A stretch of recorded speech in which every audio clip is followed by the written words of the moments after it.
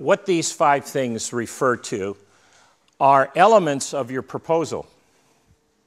Now, I'm using proposal in this way now. The proposal is an organizing document for the thing you're looking for money for. I think I did that all wrong. But, anyways, the proposal is for you, particularly in this exercise, is so that you can organize your thinking around that particular idea. The fourth thing here remember, this is where the money's going. This is what's attracting the donor to you to spend the money on the idea. And so all of these elements go into uh, the proposal. Just remember when I was talking, uh, whenever we were talking, in the orbit, and I, I said connecting, moving people from outside the orbit it, to acquaintance or friend, uh, to advisor, uh, to advocate, to advisor. Um, that's happening through connections. People connecting, finding out about you, getting to know you. That's got everything to do with item number one here your character. This is where endorsements exist. Is these people are good people, they do good work. Endorsement is who, who knows about your work? Where can, where can we get a trusted uh, connection? Track record has to do with story. People get this one wrong a lot. Story isn't just about emotion or passion or a good tale. Story, in the context that I'm talking about here, has to show how your work has changed something. Keep that in mind. Story has to show how your work has changed something. Otherwise, it's just a nice story. So if it's about um, uh, if the story doesn't connect the person to your process, it doesn't really help give flesh to the idea. Remember, proposals, conversations in, a, in an office, if you've got an hour with Tom McCauley to tell him about your work, you're really going to be in outline form for almost the entire hour, aren't you? Okay, we're working in this area. Here's what's going on in this area. Where uh, we've got this many workers. These are our strategies. This is what we've been doing, and your hour's gone. How does he get flesh onto that outline? How does he begin to understand what does all that really mean? Story. Your stories are in your track record, and they show us how your work has changed something since that's what this money's about, is change. It's about your intervention, about you preaching the gospel where it's not been preached. And what happens when it gets, it, it's preached, what sort of change occurs. Not that there's people in church, what happens because there's people in church? What's changed in the community? Story is, uh, people have a hard time with this one. This also is where reporting becomes so important is, uh, is finding those stories out at the furthest extensions where the loving acts of what you're doing is, um, is being accomplished. Um, purpose, this is a very difficult one because people are always putting their strategy in purpose. So I'm going to come to this right now, and we're going to do a table exercise around here. There are three questions with a fourth one added that actually make up the answer to this question purpose. What's our purpose? The first one what is God showing me? This is your need. This is that thing that's always in focus when everything else is slightly blurry. I believe that God, there's needs everywhere we look. If we were to just stand up, each individual, and talk about the needs that we pay most attention to, we'd begin to learn about the purpose that God has called you to because He's called, He is showing you the need He wants you to develop an intervention into. What's the need he shows me these days? It's the need of leaders to know something about fundraising, to know something about organizational development, to flourish in their calling. I had a hard time defining this at First Fruit. If you had asked me a few years ago before we hired Paul Park to become the executive director to replace me at First Fruit, I would have said, I'm about the loving acts of the gospel out in the furthest reaches where the kingdom is expanding. I would have said, that's what I'm about. Paul Park observed me for a few months and he said, That's not what you're about at all. That's not what First Fruit's about at all. He said, You're about organizations flourishing in their calling so that they can do the loving acts. And it hit me like a thunderbolt. He was exactly right. I was actually about the organization. In fact, I've been that way since the first day that God called me to work, I was about making sure the rescue mission and everybody in it could do their job. What is God showing me? It's like an old camera, those, when you used to have to focus the camera yourself, you have to go back and forth. It's that thing that snaps into focus when everything else is blurry.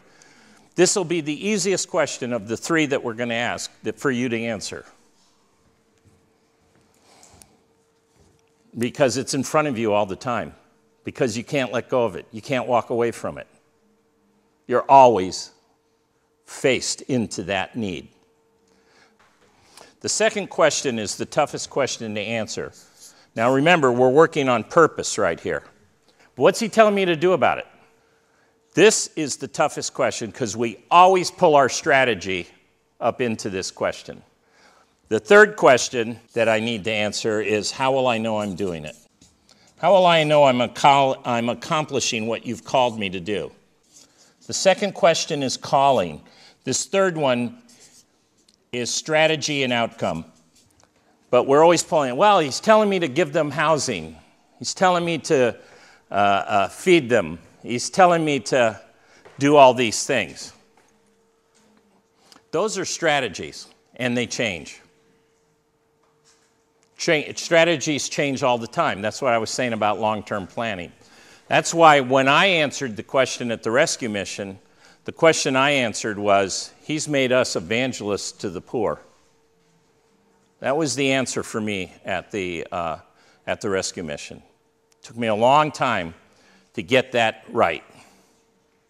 Then the strategies could change, the calling never did.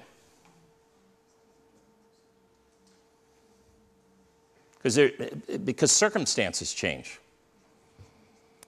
I mean, uh, for example, in the, in the homeless world, the, uh, the out of work homeless person who was capable of working but didn't have any work to do or was broken, didn't have a house, was the easiest person to work with. And most rescue missions were set up around this idea of work and, and temporary housing. In the 80s, in the United States, in the late 70s and in the 80s, they started re- uh, closing down the mental institutions. And uh, because of uh, the drugs that had been invented the, to help people with bipolar disorder and schizophrenia and uh, depression, because of all those drugs, they now just gave them a prescription and a, uh, uh, uh, a, an appointment with a mental health clinic and a state disability check and sent them out the door. Within two weeks of them starting to do that in California, the bag lady phenomenon in the United States started. Did not exist before that. These women, if you've ever seen pictures of poverty in the United States, if you haven't traveled there, you see these women pushing shopping carts mounded up with stuff. They're, it's known as the bag ladies.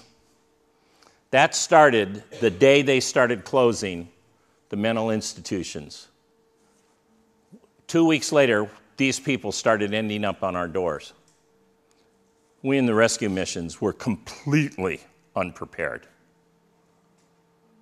It required a whole different set of skills.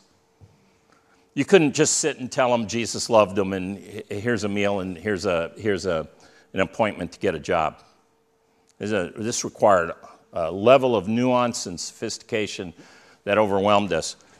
So, how will I know I'm doing it is a moving thing based on how the calling is played out in the settings that you're in. Strategies change all the time.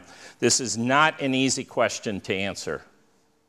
It may seem easy, it's not, because you're always pulling your strategy up. And here's the problem when you pull your strategy up into your calling. Because remember, I've said it over and over again now calling is what the donor connects to you with. They connect to your calling, not your strategies for the most part. So it's your purpose that draws them in. Tom said the same thing about McClelland's true at first fruit. It's your purpose that calls them in, and then your idea has to be intriguing in light of your purpose.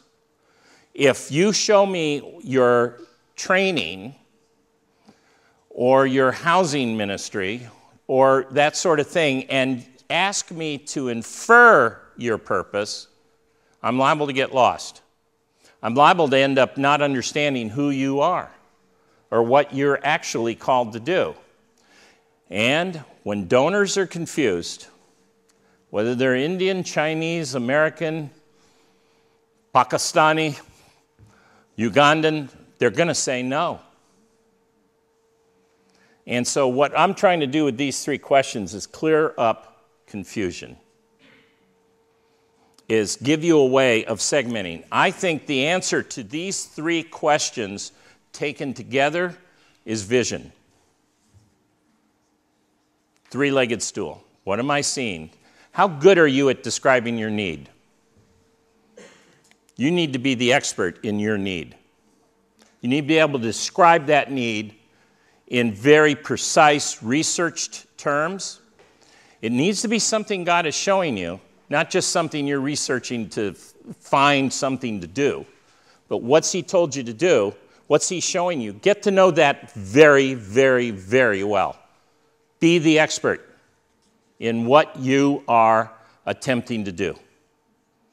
Track record, purpose, idea, and communion of giving is exactly the same whether it's a $5 gift or a 5,000 or a $50,000 gift. Very few of us are ever going to get a U.S. Foundation grant. So I'm really not teaching to U.S. foundations. It's just my direct experience, Tom's direct experience comes out of the U.S. Foundation idea.